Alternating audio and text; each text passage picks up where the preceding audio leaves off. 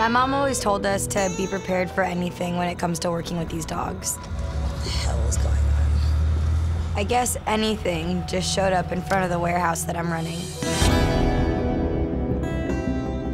Hi, baby. Hi. She was just in here when you got to work? I, I pulled up and I just noticed she was in here. You're sweet. Ooh, there's dirt. We left a crate outside so we could clean it out, and somebody threw a dog in there. It's ridiculous that we literally have to have eyes and ears everywhere because of things like this. Let me grab a leash. Yeah, I'm not scared to take her out. She's fine. Dogs get dumped at the main warehouse all the time, which would make sense because it's open to the public. As far as I knew, no one knew that this warehouse was even here. We're gonna name her Desire. Hi, look at how skinny you are. She's so sweet.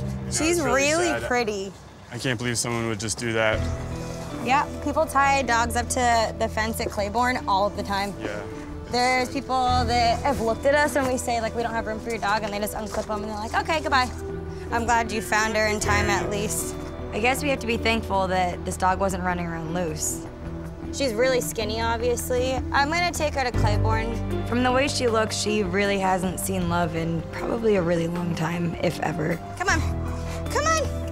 Up, right in. And I just want to have my mom take a look at her right away. Aw, you sweet little thing.